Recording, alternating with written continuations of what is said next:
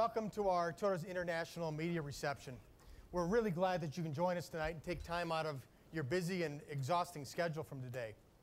You know, we're looking forward to this year because 2007 marks two major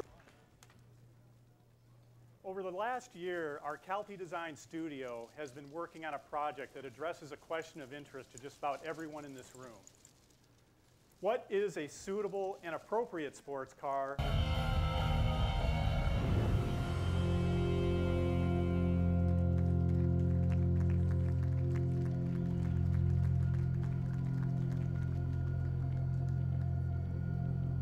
Perfect imbalance.